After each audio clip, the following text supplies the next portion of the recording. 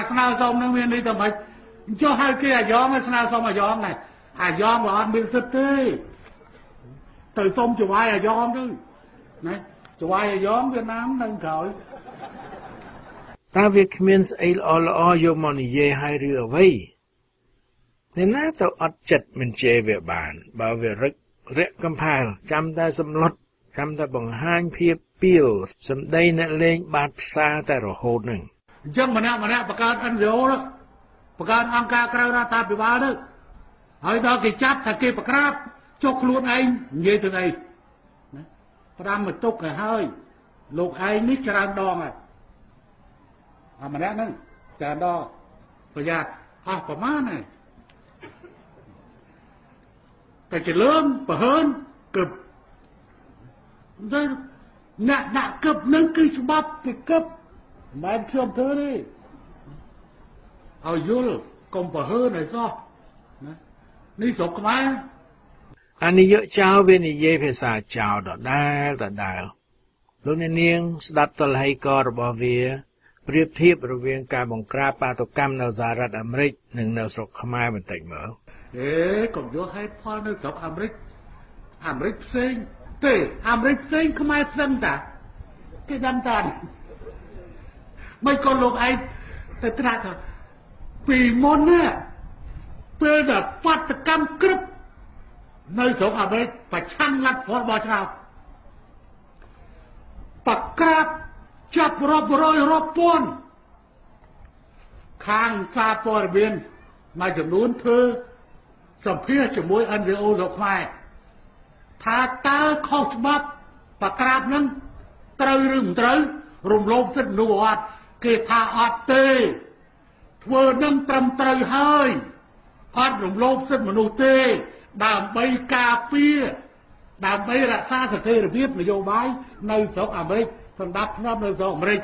អញ្ចឹងខ្ញុំក៏ឆ្លើយទៅវិញថាបើអញ្ចឹងខ្ញុំធ្វើពីមុនមកក៏មិនដែលខុសដែរដើម្បីស្ថិរភាពស្រុកខ្មែរវាមានអីវាដូចតែគ្នាដែរ បាទទាំងអស់នេះសត្វជា ដំណឹងរបស់មនុស្សល្ងងមកអត់ដឹងរឿងបាទទី1ដែលវាលើកយកមកនិយាយនឹងមិនត្រឹមត្រូវ100%នោះទេព្រោះវាជាព័ត៌មានមិនពិតហើយបំផ្លាស់ដែលវាថាបង្ក្រាបចាប់រាប់រយរាប់ប៉ិនអីហ្នឹងវាមិនពិតអីចឹងនោះទេ ហើយក៏គ្មានការដាក់គុកអ្នកដែលប្រឆាំងនឹងការដឹកនាំរបស់លោក Donald Trump ដោយដែលអាខ្វាងវាបាននឹងកំពុងតែឃុំខ្លួនសកម្មជនតំណាងអង្គការ NGO និងអ្នកនយោបាយជំទាស់នៅកម្ពុជានោះឡើយគ្មានការប្រកាសថាការចាប់ចងខ្លះៗនៅក្រុងមួយចំនួន ដែលមានបាតុកម្មប្រឆាំងលោកត្រាំនោះ ធ្វើឡើងដើម្បីរក្សាស្ថិរភាពនយោបាយស្អីដូចដែលអាគម្រក់នេះវាអះអាងនោះឡើយប៉ូលីស ចាប់ពួកបាតុករបាទមានចាប់មិនមានអត់ចាប់ទេចាប់ខ្លះព្រោះពួកនេះវាដុតឡានអ្នកស្រុក បំភ្លេចបំផ្លាញទ្រព្យសម្បត្តិសាធារណៈហើយនឹងហាងលក់ទំនិញកន្លែងខ្លះជាការឆ្លៀតឱកាសលួចអីវ៉ាន់ពីហាងពី store ផងគេតែប៉ុណ្ណឹងពួកអាបាតដៃទី3ឬសន្តិសុខក្រុង ដែលបង្ក្រាបខ្មែរ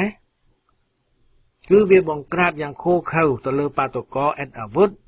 ជាស្ត្រីជាអីហ្នឹងយើងឃើញរាល់ថ្ងៃហ្នឹងតែប្រកបណាស់ទៅតមាត់តកជាមួយនឹងអាក្របីខ្វាក់នេះវាបានប្រយោជន៍អ្វីបើវាជាដេរិឆានទៅហើយយើងទៅភ្ញាក់ផ្អើលអីនឹងអំពើឬសម្ដីដេរិឆានរបស់វាបាទខ្ញុំបានកត់សម្គាល់ពីថ្ងៃមុនថាល្បិចកលផ្សេងផ្សេងតាំងពីឲ្យមីក្មេងទីសវណ្ណថាចេញមកបង្កបញ្ហា ប្តឹងផ្ដាល់អ្នកនេះអ្នកនោះការបញ្ចេញសម្លេងសន្ទនារបស់កឹមសុខាជាមួយនឹងជាងកាត់សក់ការបង្ខំបង្ខាំងកឹមសុខានៅក្នុងទីស្នាក់ការរបស់គណៈបកសង្គ្រោះជាតិរាប់ខែហើយអ្វីអ្វីក្រោយក្រោយមកទៀតសុទ្ធសឹងតែជាផ្នែកនយោបាយបង្វែងដានរបស់ពួកអាកន្តោបគឺតេទៀងចំណាប់អារម្មណ៍របស់ប្រជាពលរដ្ឋខ្មែរចេញឆ្ងាយពីការពិតបច្ចុប្បន្ននេះជាពិសេសគឺឲ្យយើងភ្លេច សេចក្តីព្យាយាមរបស់លោកបណ្ឌិតកែមលីក្នុងការបកអាក្រាតវត្តមានរបស់យួនកន្តោបដ៏ច្រើនសន្ធឹកសន្ធាប់នៅកម្ពុជាបាទសូមបងប្អូនកូនចៅខ្មែរកុំភ្លេចខ្លួនកុំភ្លើតភ្លើនជាមួយនឹងអ្វីដែលអាយ៉ងនឹងចវាយវាបំពន់ឲ្យបាទឬទោះជាពាក្យសម្ដីធំធំរបស់វាវាអះអាងដូច្នេះកាលពីថ្ងៃកាលពីថ្មីថ្មីនេះចិននៅពីក្រោយចវាយហ្នឹងឆាប់ ចាំទៅធ្វើចវាយហ៊ុនសែនដែរនេះជាប្រជាជាតិមួយ ជានាយករដ្ឋមន្ត្រីនៃរដ្ឋអធិបតេយ្យគ្មានអ្នកណាត្រួតវាបានក្រៅពីប្រជាជនកម្ពុជាទេកុំសូវពេកបើប្រជាជនហើយអ្នកដែលត្រួតវាបានណាអ្នកណាទេប្រពន្ធខ្ញុំ បាទរឿងនេះយើងដឹងថាមានងៀងធីទ័រនេះមួយมีម៉ែនសំអននេះមួយនិងมีយូអយនេះមួយសុទ្ធតែជាពួកកុម្មុយនីសដែលយួនវាបង្កបង្កើតឡើង មានឥទ្ធិពលយ៉ាងខ្លាំងលើអាខ្វាងទាំងអស់ព្រោះស្រីទាំងអស់នេះជាខ្សែរយៈរបស់ពួកយួនកន្តោបបាទអាខ្វាងវាអួតក្អេងក្អាងយ៉ាងណាក៏បាន តែការពិតវានៅតែជាការពិត គឺបើនិយាយបែបត្រង់ត្រង់ឥតលាក់លៀម អាក្របីខ្វាក់មួយនេះវាគឺជាខ្ញុំកញ្ចេះយួនបាទដែលវាហៅថាអាយ៉ងនឹងខ្ញុំសូមនិយាយដោយត្រង់ព្រោះថាចឹងឲ្យនិយាយត្រង់ទៅត្រង់មកបើត្រង់ទៅត្រង់មកយើងត្រូវនិយាយត្រង់ហើយនិយាយឲ្យប្រជាជនខ្មែរបានដឹងកងទ័ពវៀតណាមនៅកម្ពុជាជាង100,000នាក់ខ្ញុំអាយ៉ងវៀតណាមយួនវាមិនឲ្យធ្វើអ្វីហើយវាក៏មិនចេះធ្វើអ្វីដើម្បីជួយលើកស្ទួយជីវភាពខ្មែរយើងនោះទេរឿងបែបនេះយើងដឹង ព្រោះថា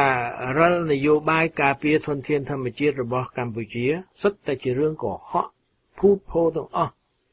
សប្តាហ៍ថ្ងៃនេះវាបន្តអនុវត្តនយោបាយលេបស្រុកខ្មែររបស់អាកន្តោបហូជីមិញមិត្តអ្នកស្ដាប់មួយរូបបាននិយាយប្រាប់ខ្ញុំអំពីនយោបាយបាញ់មួយក្រាប់បានចាពីរបស់ពួកអាកន្តោបដូចជា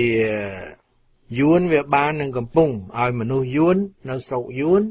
រៀនភាសាខ្មែរសម្រាប់សម្រួលការឡើងមកជិះជាន់គ្រប់គ្រងខ្មែរនៅកម្ពុជាខ្ញុំដឹងឋានៈមួយពីពួកម៉ាគេរកស៊ីធ្វើកញ្ចក់ហើយដល់ហើយគេរមានយួនមានអីពួកកម្ពុជាក្រោមប៉ុន្តែឥឡូវនេះយួនគេដើរល្បិចចេះគេប្រមូលគ្នាមកកន្លែង រៀនខ្មែរគឺរៀនភាសាខ្មែរនៅស្រុកយួនគេចាប់ដើមរៀនខ្មែរហើយហើយវាវាងាយនឹងគ្រប់គ្រងគ្រប់មុខជំនាញទាំងអស់សពគ្រប់ស្ថាប័នរដ្ឋអ្វីអ្វីទាំងអស់នយោបាយបាញ់មួយគ្រាប់បានចាពីរបស់ពួកអាកន្តោមួយទៀតគឺបញ្ហាព្រៃឈើខ្មែរហើយម្យ៉ាងទៀតត្រូវគិតថា វាបាញ់មួយគ្រាប់បានចាពីដូចយ៉ាងកាត់ព្រៃកាលណាកាត់ព្រៃអស់គេក៏បានលុយគេយកទៅលក់ទូទាំងពិភពលោកពីទូទៅចិនយកទៅលក់បានលុយធ្វើជាអ្នកមហាសេដ្ឋីប៉ុន្តែយើងដល់អស់ព្រៃ យើងត្រូវអត់មានអីញ៉ាំធ្វើស្រូវមិនបានក្តៅពីលើទឹកក៏គ្មានមើលឲ្យសន្ទុះដោះកើតអត់ក្តៅផងទឹកក៏គ្មានយើងត្រូវទៅទិញកសារពីដល់តែស្រុកគេដាក់អង្គមកគឺគេមានឆ្នាំដាក់ឲ្យអ្វីអ្វីខូចព្រោះវាទាំងអស់ តាំងពីមេស្កតាំងពីប៊ីចេងខ្ញុំដឹងណាស់អរុនប៊ីចេងសពថ្ងៃមនុស្សម្នាក់អ្នកខ្ញុំលើកគេនិយាយថានងគ្នាទៅយួន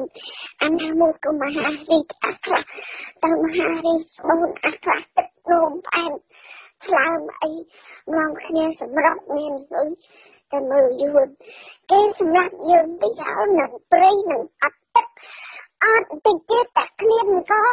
បបក៏ស៊ីឯកអាំងក៏ស៊ីដល់តែឃ្លានបាទយួនវាសម្រាប់ខ្មែរដែលខ្មែរមិនទាំងដឹងខ្លួនផងនឹងនៅញញឹមហើយក៏សំពះដឹងគុណវាទៅទៀត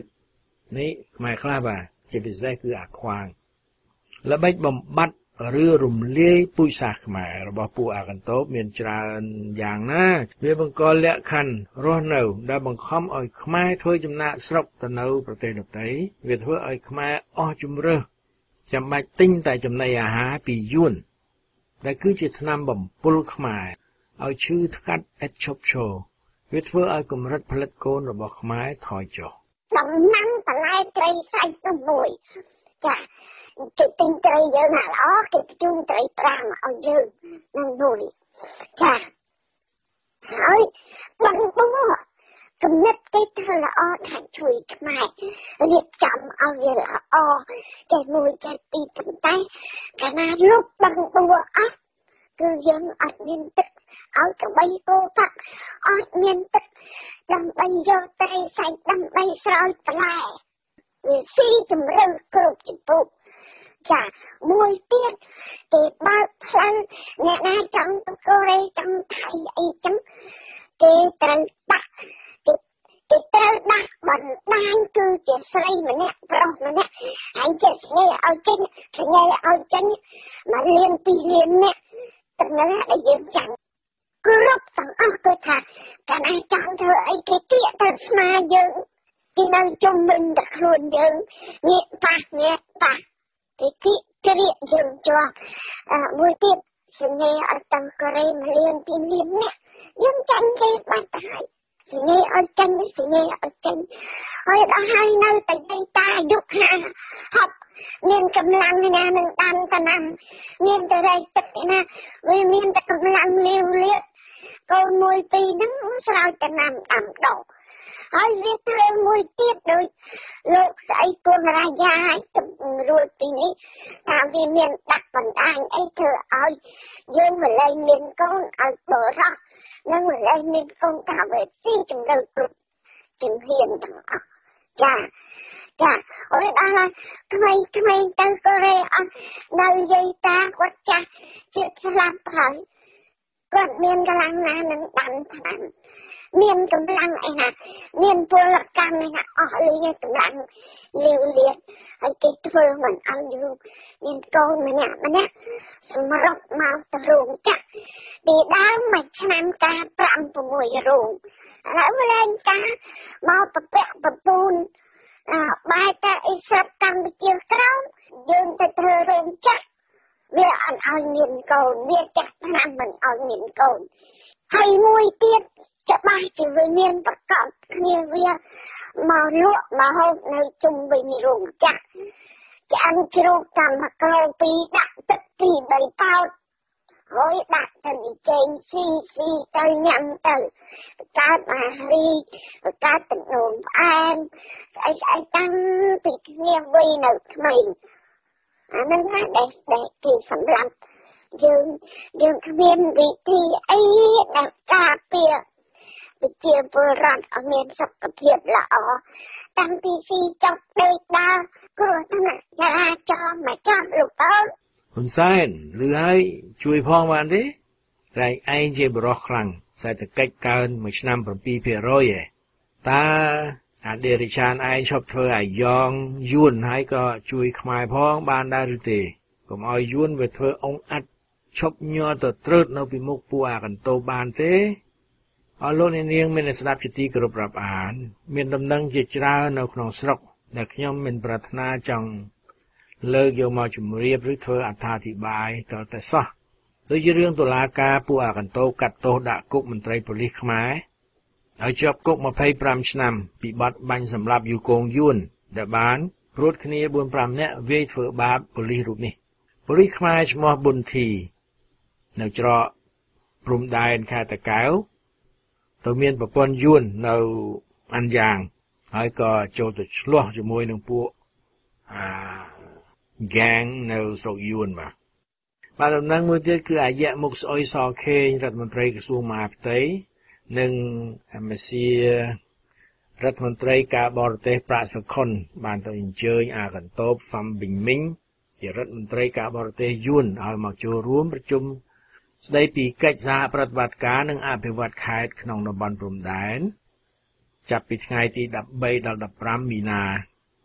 ខ្មែរដែលបានជ្រាបពីព័ត៌មាននេះគេនាំគ្នាជេរថាដល់ពេលចិត្តបោះឆ្នោតពួកអាយ៉ងក៏ទៅអញ្ជើញចវាយវា ឲ្យមកជួយគម្រាមប្រជារាស្ត្រខ្មែរថែមទៀតព័ត៌មានយ៉ាងไรទៅជាមួយទៀតគឺគណៈបកកណ្ដាលអំណាចរបស់ពួកអាកញ្ចេះយួនបានសម្រេចប្តឹងគណៈបកសង្គ្រោះជាតិមុនខែមិថុនាគឺថ្ងៃបោះឆ្នោតថ្ងៃទី4មិថុនាប្រសិនបើគណៈបកសង្គ្រោះជាតិនៅតែរឹងទទឹងមិនព្រមបដូរឬលុបពាក្យស្លោកដែលថាដូមេឃុំបំរើបកដាក់មេឃុំបំរើរាជតែការនេះ ខាងគណៈបកសង្គ្រោះជាតិបានបដិសេធមិនព្រមដូរពាក្យស្លោកនេះយ៉ាងម៉ឺងម៉ាត់យើងរងចាំមើលថាតើពួកអដេរិឆានវានឹងធ្វើអ្វីតទៅទៀតបើមានការដឹងមែនតើតុលាការក្នុងរបបដេរិឆានវានឹងដេរិឆានធ្វើតាមបញ្ជារបស់ពួកដេរិឆានដែរឬទេច្បាស់ណាស់វានឹងធ្វើបាទអរលោកអ្នកនាងជាទីមេត្រីមានគេសួរខ្ញុំថាហេតុអ្វីបានជាហ៊ុនសែននៅតែបន្តនិយាយដូចដែលវាបាននិយាយសប្តាហ៍ថ្ងៃនេះ មិនព្រមឈប់ទាំងដែលដឹងថាការនិយាយចេញមករបស់វាពុំបានធ្វើឲ្យវាមានប្រជាប្រិយភាពសោះទេផ្ទុយទៅវិញ មានតែគេស្អប់បានហេតុផលមានច្រើន ដូចជាវានឹកស្មានថាសប្តាហ៍ថ្ងៃហ្នឹងខ្មែរគេចូលចិត្តស្ដាប់វានិយាយខ្លាំងណាស់សម្លេងវាដូចស៊ីនស៊ីសមុទ្រទាំងដែលរាល់ការថ្លែងរបស់វាវាបង្ខំឲ្យមន្ត្រីកូនជឹងរបស់វាមកអង្គុយស្ដាប់វាប្រោកប្រាជ្ញ មិនឲ្យខ្វះម្នាក់ទេបាទពួកមេបដិការវាតែងតែស៊ីចូលអញ្ចឹងបាទចូលចិត្តស្ដាប់សំឡេងរបស់ខ្លួនឯងឃើញក្បាលមីក្រូមិនបានលោតដាក់បាទវាជាផ្នែកមួយនៃទួនាទីទីងមងរបស់អាខ្វាង ដែលជាខុសនិកឲ្យក្រុមក្បត់ជាតិកញ្ចេះយួនគឺយួនវាឲ្យអាមួយនេះនិយាយដើម្បីបំផិនមតិបំភាំងស្មារតីរាជប្រជា មិនឲ្យដឹងពីការពិត ពីស្ថានភាពពិតរបស់ប្រទេសជាតិអាចង្រៃនេះវាមិនដែលនិយាយពីការពិតរបស់ប្រទេសរបស់ប្រជាជនខ្មែរនោះទេវាអួតតែពីអ្វីដែលខ្លួនវាគ្រួសារវាក្រុមវាមាន បាទបើវាលឺខ្ញុំរិះគន់វាច្បាស់ជាឡងមកខ្ញុំវិញថាចោះ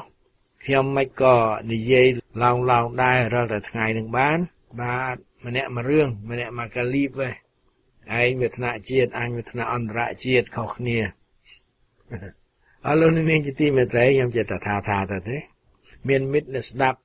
បានសួរខ្ញុំថាតើកិច្ចព្រមព្រៀងសន្តិភាពក្រុងប៉ារីថ្ងៃ23ដុល្លារ1991ងាប់ហើយឬនៅរស់នៅឡើយបាទបានជាគេសួរព្រោះគេធ្លាប់ឮអាខ្វាងវាអះអាងថាកិច្ចព្រមព្រៀងនេះ បានរលាយរូបបាត់ហើយមិនចាំបាច់ឲ្យអ្នកណា មកទទួលស្គាល់រដ្ឋាភិបាលឯកបៈរបស់វាកាលពីឆ្នាំ2014នោះទេវាអត់មានចាំបាច់ឲ្យអគ្គលេខាអង្គការសហប្រជាជាតិឲ្យប្រទេសហត្ថលេខីលើកិច្ចព្រមព្រៀងប៉ារីអីមកទទួលស្គាល់ទេព្រោះព្រឹកមិញខ្ញុំក៏ឮឃើញឃើញរាយការណ៍ឲ្យខ្ញុំថាមានគេថាឲ្យប្រទេសកុំឲ្យប្រទេសហត្ថលេខីកិច្ចព្រមព្រៀងប៉ារីទទួលស្គាល់អូអូចាំឲ្យ សូមបញ្ជាក់កិច្ចព្រមព្រៀងប៉ារីបានរលាយធាតុរបស់វាហើយបានចូលមកក្នុងរដ្ឋធម្មនុញ្ញនេះរួចអស់ហើយអញ្ចឹងទេយកកិច្ចព្រមព្រៀងប៉ារីយកមកធ្វើអីទៀតឥឡូវមករឿងនេះយើងដឹងច្បាស់ហើយថាអាខ្វាងគឺអាខ្វាង ចៅវាមិនដែលទទួលថាវាជាចៅនោះឡើយកាលនោះវាមិនរឹងចេះតែនិយាយបំពេញការពិតតែអញ្ចឹងមកខាងគណៈបកសង្គ្រោះជាតិ មិនព្រមបាទរឹងតិចទៅមិនព្រមធ្វើតាមពីអង្វរនិងសម្លុតរបស់ពួកវា ហើយមិននាំគ្នាទៅចូលសភាកាលពីខែសីហាឆ្នាំ2014ទេនោះរដ្ឋាភិបាលឡាខ្វាងច្បាស់ជាដួលបាត់ទៅហើយតែហេតុចោះវាคล้ายទៅជាប្រវត្តិសាស្ត្រទៅហើយសំងាកមកតបនឹងសំណួរដែលថាតើកិច្ចព្រមព្រៀង23ដុល្លារ991នៅរស់ឬក៏ងាប់ទៅហើយនេះវិញ បើអាខ្វាងវាថាចប់ទៅហើយតែអ្នកជំនាញខាងច្បាប់និងសន្ធិសញ្ញាអន្តរជាតិគេថានៅឡើយទេបាទកាលពីខែធ្នូឆ្នាំទៅមិញដែលជាខួបឆ្នាំទី25នៃកិច្ចព្រមព្រៀងមួយនេះមានអង្គប្រជុំមួយឯវិទ្យាស្ថានសន្តិភាពអាមេរិក US Peace Institute នាទីក្រុង Washington លោក Mark Storella ពីការិយាល័យប្រជាភិវឌ្ឍជនភៀសខ្លួនហើយនឹងទេសន្តរប្រវេសឬចំណាកស្រុក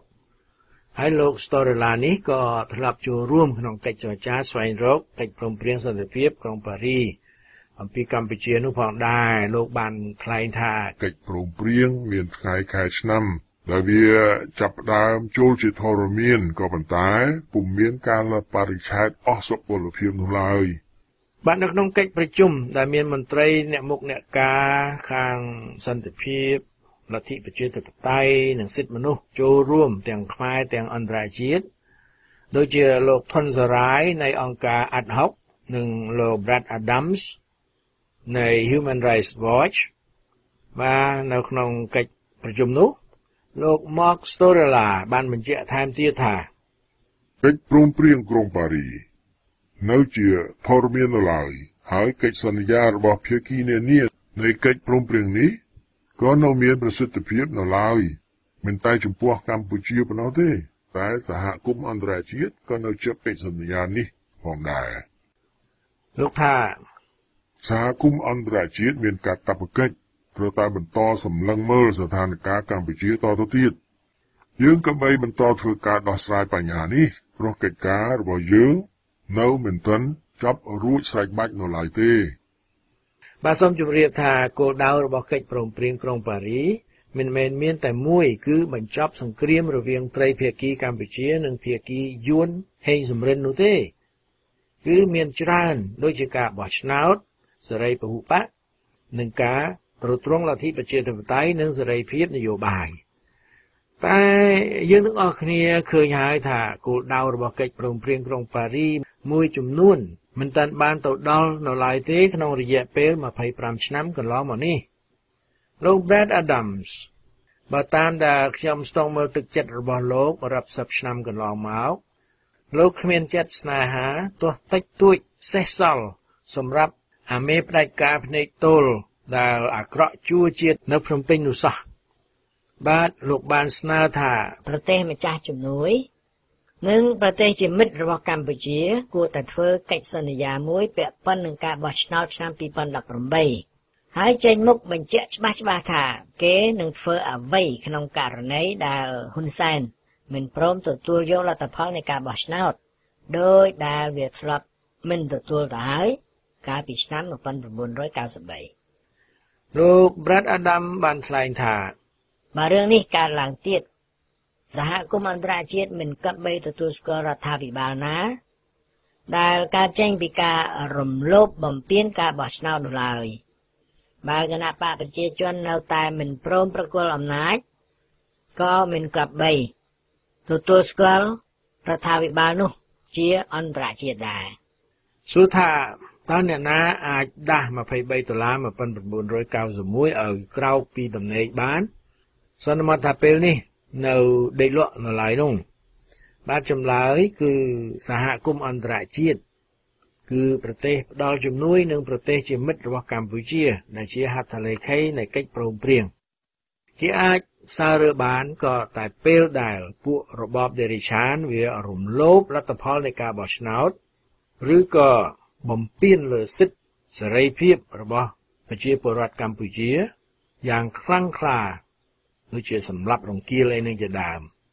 តែនៅខណៈនេះពេលនេះ គេពុំអាចលូកដៃចូលទៅបានទេព្រោះនៅសុកសុកគេនឹងធ្វើអន្តរាគមទៅមិនដាច់កើតព្រោះលោកសំរងស៊ីកឹមសុខានិងតំណាងរាជសង្គ្រោះជាតិទាំងអស់បានទៅជួយបង្ក្រប់ទឹកឲ្យពួកអាក្របីឃាតកោអតីតកុម្មុយនីសខ្មែរក្រហមខ្ញុំកញ្ជះយួនចិនទាំងអស់នោះទៅហើយនឹងធ្វើមិនបានបាទចាំបាច់ខ្មែរនៅក្នុងប្រទេស នៅស្រុកសៀមនិងនៅ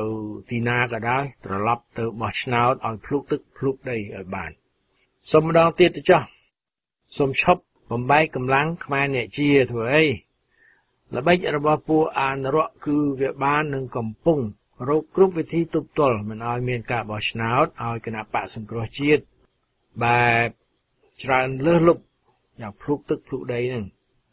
ដូច្នេះយើងត្រូវទៅបោះឆ្នោតឲ្យវាខ្លាំងខ្លាអញ្ចឹងឲ្យវាច្រើនឲ្យឈ្នះច្រើនច្រើន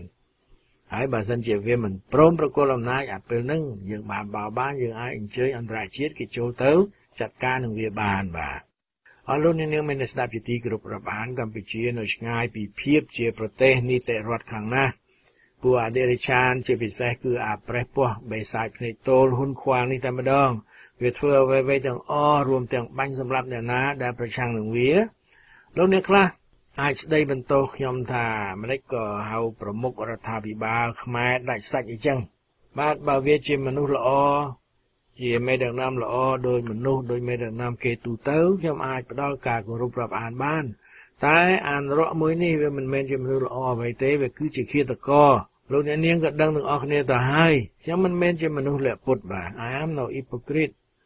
យើងដឹងថាវាជាឃាតករវាជាចោរប្លន់អំណាចថាវាជាមនុស្សក្បត់ជាតិជាខ្ញុំកញ្ចេះយួនវាប្រកាសខ្លួនឯងអ្នកណានៅតែទៅលន់តួជាមួយនឹងវា បាទវាជាសិទ្ធិរបស់អ្នកនោះសន្មតថាគិកាប់នេះគឺជាដុំអាចឆ្កែហើយបើសិនជាលោកអ្នកណាចង់ទៅអោបថើបក្រេបជក់ឬក៏ក្រាបសំពះអីហ្នឹងក៏វាជាសិទ្ធិរបស់លោកអ្នកនាងបាទតែឲ្យខ្ញុំទៅក្បែរហ្នឹងអត់ផ្លូវទេបាទអាចឆ្កែ មកបង្ខំឲ្យខ្ញុំហៅអាចឆ្កែថាជាស្អីផ្សេងទៀតហ្នឹងខ្ញុំធ្វើមិនបានទេហើយក៏មិនដែលគិតថានឹងធ្វើផងបាទខ្ញុំនិយាយថាស្រុកខ្មែរនៅឆ្ងាយពីភាពជានីតិរដ្ឋនឹងព្រោះនៅប្រទេសកូរ៉េខាងត្បូងបាទតុលាការកំពូលគេបានសម្រេចទៅហើយកាលពីម្សិលមិញថាទម្លាក់លោកជំទាវប្រធានាធិបតីប៉ាគឹនយេចេញពីតំណែងប្រធានាធិបតីហើយ ព្រោះតែរឿងពុករលួយបាទស្រីស្រីក៏ចេះពុករលួយដូចតែគ្នាហ្នឹងមែនទែនស្រីស្រីខ្លាំងពុករលួយជាងប្រុសផងបាទខ្ញុំមិនមែនតែមើងងាយស្រីស្រីទេគោរពស្រឡាញ់ស្រីជាម៉ែក៏ប៉ុន្តែក៏ជាមនុស្សដូចតែគ្នានឹងកុំទឹកស្មានតែជាទេវតាពីណាមកស្មានតែអូតែលស្រីស្រីបានល្អមិនមែនទេបាទអឺនៅប្រេស៊ីលប្រធានាធិបតីប្រេស៊ីលនឹងក៏មានបញ្ហានៅបង់ក្លាដេស នាយករដ្ឋមន្ត្រីបង់ក្លាដេសក៏មានបញ្ហាហើយឥឡូវកូរ៉េខាងត្បូងទៀតហើយនៅខាងអឺរ៉ុបខាងអីទៀតស្រីស្រីជាមេដឹកនាំជាប៉ែ Merkel ហ្នឹងប្រទេសអាល្លឺម៉ាញក៏មិនមែនជាល្អឯណាស់ណាទេមានគេមិនចូលចិត្តច្រើន ចំពោះបញ្ហារឿងជនភៀសខ្លួនវាអីហ្នឹងបាទបាទបើចង់ឲ្យមានការផ្លាស់ប្ដូរនៅកម្ពុជាខ្មែរយើងត្រូវនាំគ្នាទៅបោះឆ្នោតឲ្យគណៈបកសង្គ្រោះជាតិឈ្នះគ ណៈបកផ្សេងផ្សេងទៀតក៏បីរំលាយខ្លួនចោលហើយមកចូលរួមគ្នាជាមួយក្នុងផ្ទៃមហាសាមគ្គីជាតិជាមួយនឹងគណៈបកសង្គ្រោះជាតិប្រឆាំងយួននិងកញ្ចេះយួនវិញ បាទពេលចេះតែខើយទៅហើយបងប្អូនសូមកុំភ្លេចសូមអញ្ជើញហើយមុននឹងខ្ញុំបាទភ្លេចខ្ញុំសូមប្រកាសថាលោកប្អូនវ៉ាន់សននៅប្រទេសស្វីសបានជួយវិទ្យុខ្មែរពិភពលោក ជាប្រាក់100ដុល្លារតាមរយៈនាងតារាវីបាទអឺគឺជួយមកតាំងតែពីខែមុនម្លេះខ្ញុំមិនបានប្រកាសព្រោះភ្លេចទៅសូមអភ័យទោសបាទក្រៅពីនេះខ្ញុំក៏បានទទួលបច្ច័យពីលោកទៀងសំអាននៅអូក្លាហូម៉ាតាមរយៈ PayPal ជាប្រាក់20ដុល្លារសូមអរគុណបាទហើយខ្ញុំក៏សូមសំពះអរគុណយ៉ាង ទន់ភ្លន់ចំពោះអ្នកបងម្ចាស់ស៊ីសវັດនារីរ៉េតនៅញូវយ៉កបាទដែលបានផ្ញើប្រាក់20ដុល្លារមកជួយប្រចាំខែមីនានេះបាទប្រចាំខែមីនានេះសូមអរគុណអរប្រគុណបាទសរុបទាំងអស់នៅខែមីនានេះរហូតមកដល់ពេលនេះគឺ10ថ្ងៃចូលថ្ងៃទី11វិទ្យុខ្មែរពិភពលោកយើងបានទទួលជំនួយគ្រប់ត្រូល310ដុល្លារ 100ដុល្លាររបស់លោកប្អូនវ៉ាន់សននឹងឲ្យចាយអស់ទៅហើយបាទហើយក៏សូមអរគុណបាទសូមអរគុណទាំងអស់គ្នាជាបណ្ឌិតលោកអ្នកនាងមានស្ដាប់ជាទីគោរពរាប់អានខ្ញុំបានទទួលសម្បត្តិមួយច្បាប់ពីលោកក្មួយម្នាក់ឈ្មោះហ៊ួនវ៉ាបាទហ៊ួនវ៉ាជាគ្រូបង្រៀនជាស្អីបាទបាទសម្បត្តិនឹងជាសម្បត្តិអាសន្យាណូសរសេរមកដូចនេះបាទ ដោយការគោរពពីចម្ងាយខ្ញុំបាទឈ្មោះហ៊ួនវ៉ាជាគ្រូបង្រៀននៅអនុវិទ្យាល័យស្រែជាស្រុកដងទង់ខេត្តកំពតសូមគោរពជម្រាបជូនលោកអ៊ំថាខ្ញុំសូមរំលឹកឡើងវិញខ្ញុំធ្លាប់បានស្ដាប់កម្មវិធីមួយ ដែលសម្របសម្រួលដោយលោកអ៊ំផ្ទាល់លើប្រធានបទស្ដីពីវិធីព្យាបាលជំងឺមួយចំនួនដោយការប្រើទឹក តែការផ្សាយនោះវាមានរយៈពេលយូរណាស់ហើយ គឺប្រហែលជា5ទៅ10ឆ្នាំទៅហើយខ្ញុំធ្លាប់បានទាំងថតសម្លេង ការបញ្យល់ពីការប្រើប្រាស់ទឹក សម្រាប់ការព្យាបាលជំងឺស្ទើរតែ100មុខដែលមានជំងឺឈឺក្បាលឈឺសន្លាក់ឈាមខាប់ឈឺក្រពះជាដើមអ្នកដែលធ្វើការពិសោធន៍មានលោកវេជ្ជបណ្ឌិត Seridon Batman Kalik ជាជនជាតិអ៊ីរ៉ង់បានសាកល្បងទៅលើ អ្នកទោសប្រហែលជា2000នាក់ដែលមានជំងឺឈឺក្រពះឃើញថាមានប្រសិទ្ធភាពគួរឲ្យមោទនៈ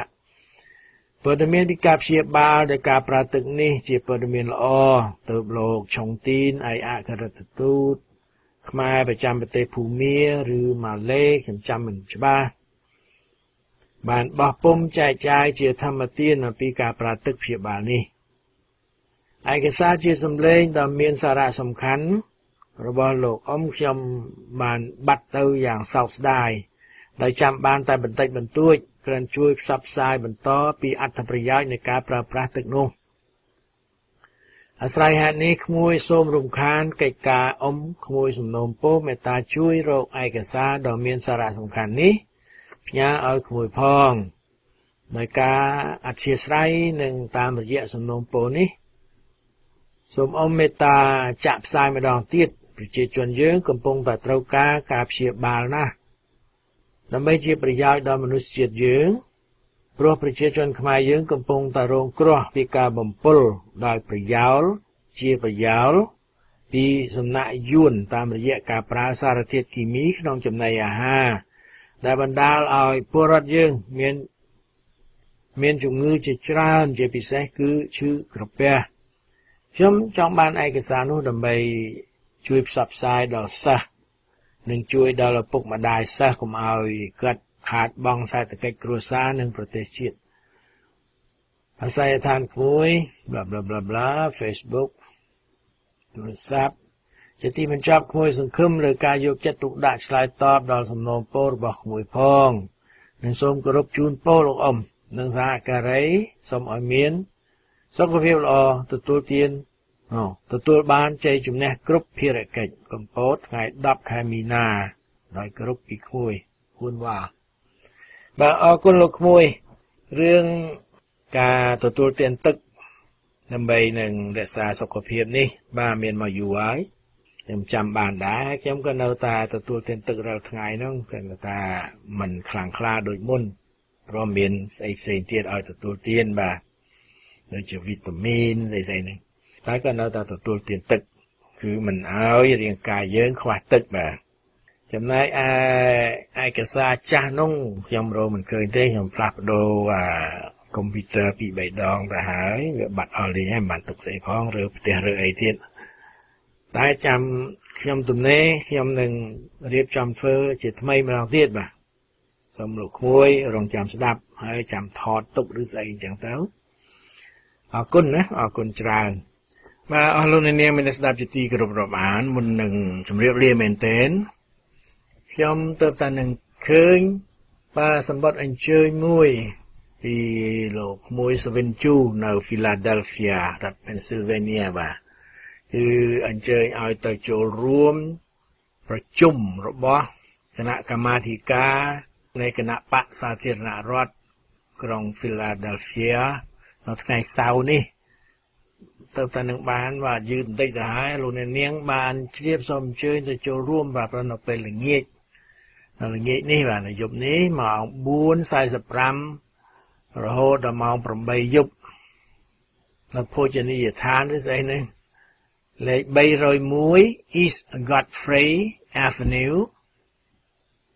Fish and Chicken Fry បាទ ហើយចូលរួមម្នាក់20ដុល្លារតិកេតទទួលទាន Fish and Chicken Fry បាទឆ្ងាញ់ណាស់ហ្នឹងប៉ុន្តែបើទៅជាមួយនឹងលោកសវិនជូអាចទៅទៅ free បាទសូមអញ្ជើញទៅចូលរួមខ្មែរនៅ Philadelphia បាទលោកនាងចង់ជ្រាបអំពីបញ្ហាផ្សេងផ្សេងដែលខាងរដ្ឋាភិបាលរបស់លោក Donald Trump អាចជួយយើងបាន មានរឿងអីខ្លះហ្នឹងសូមអញ្ជើញទៅចូលរួមបាទជាសេចក្តីអញ្ជើញរបស់លោក Linwood Holland លោក Sovin Chu គណៈបកសាធារណរដ្ឋនៃ Lower Northeast Philadelphia ទាំងពីរបានអញ្ជើញសហគមន៍នៅ Philadelphia ទាំងអស់ឲ្យទៅជួបជាមួយនឹងប្រធានរបស់គណៈបកសាធារណរដ្ឋប្រចាំរដ្ឋ Pennsylvania បាទ គឺលោក Valentino Di Giorgio ហើយនិងលោក David O ក្រុមប្រឹក្សាក្រុងសម្រាប់ទីក្រុង Philadelphia ហើយនឹង Lucinda Little ជាបេក្ខជនរបស់គណៈបកនឹងហើយលោក Joseph លោក Joe the Felice ជាប្រធានរបស់គណៈកម្មាធិការគណៈបក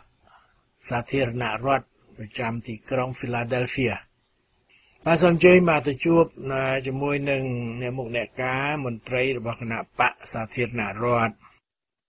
មិនមែនថាលោកនាងចាំបាច់ត្រូវទៅចូលជាសមាជិកគេនោះទេគណៈយើងជាខ្មែរយើងទៅចូលរួមបាទស្ដាប់គេគេអាចនឹងណែនាំអ្វីល្អល្អដែរហើយបើសិនជាយើងគ្រប់គ្រងបាន why not បើសិនជាគេជួយយើងយើងជួយគេអានឹងរឿងធម្មតាដែលខ្ញុំជម្រាបម្ដងហើយម្ដងទៀតអាផ្លូវ two way road បាទ ផ្លូវមានទៅមានមកសូមអរគុណហើយខ្ញុំក៏សូមជម្រាបលា តែប៉ុណ្ណេះស្ដាយណាស់ដែលព័ត៌មាននេះខ្ញុំទៅតែនឹងបានទទួលលោកសវិនជូទៅតែនឹងផ្ញើ invitation មកឲ្យបាទជម្រាបលាបាទ